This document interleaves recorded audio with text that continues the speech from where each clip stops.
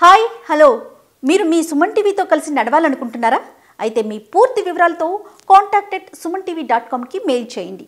కుల దొర అహంకారంతో కన్న కూతురి తాళి తెంపిన మారుతీరావు ఎట్టకెలకు జైల్లో ఓచల లెక్కబెడుతున్నాడు అమృత ప్రణయల ప్రేమకు మిరియాలగూడ కన్నీటి సంతరమైంది.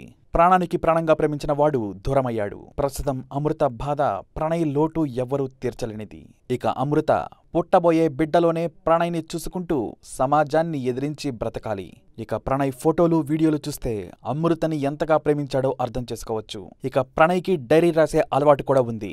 ఆ డైరీలో అమృత మీద ఉన్న ప్రేమ ఏంటో అతను చూపించాడు. ఇక అలాగే చెడు అలవాట్లకు దూరంగా ఉండాలని కూడా కొన్ని విషయాలను రాసుకొచ్చాడు ప్రణయ్. వారి జీవితంలో జరిగిన మధుర జ్ఞాపకాలను అందులో రాసుకున్నారు. ఈ ఫోటోలో అమృత గడ్డం మీద ఉన్న పుట్టుమచ్చ తన అందానికి ఒక దిష్టి చుక్క లాంటిది అని ప్రణయ్ డైరీలో రాసుకొచ్చాడు. ఇక అమృతకి ఏమన్నా అయితే మోస్ట్ అఫెక్టెడ్ పర్సన్ నేనేనంటూ అలాగే అమృత అంటే నాకు చాలా ఇష్టమంటూ ప్రణయ్ ఆ డైరీలో రాశాడు. అంతేకాదు అమృత వాళ్ళ నాన్నను ఉద్దేశించి కూడా ప్రణయ్ తన డైరీలో ఇలా రాసుకొచ్చాడు. అంకుల్ నేను మిస్టర్ పర్ఫెక్ట్.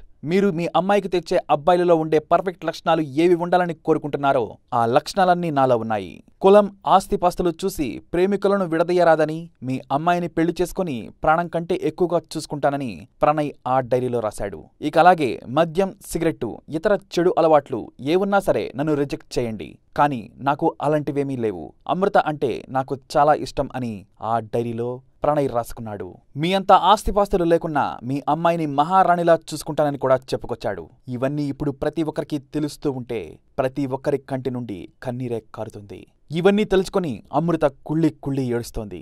ఇక అలాగే ప్రస్తుతం బేబీ పుట్టే వరకు ఎస్పీ రక్షణ కల్పిస్తామని హామీ ఇచ్చారు. ఎందుకంటే ప్రాణాన్ని చంపిన వాళ్ళు నా బిడ్డని ఎందుకు చంపరు అంటూ తన కోపాన్ని వ్యక్తం చేస్తోంది అమృత. అందుకే తప్పనిసరిగా రక్షణ కావాలి అని కోరింది. ఇక అలాగే నా బిడ్డ పుట్టేలోపే తన తండ్రిని చంపిన వాళ్ళని ఉరి తీయాలి అని కోరుకుంది అమృత. అరవై ఏళ్ళు ఉన్నవారికి భర్త చనిపోతే ఎంత బాధ ఉంటుంది? కానీ నాకు ఇరవై ఒక్క ఏళ్ళే. పెళ్ళి చేసుకుని కొన్ని నెలలే. ఇక నాకెంత బాధ ఉంటుందో అర్థం చేసుకోండి అంటూ కన్నీరు కారుస్తుంది అమృత.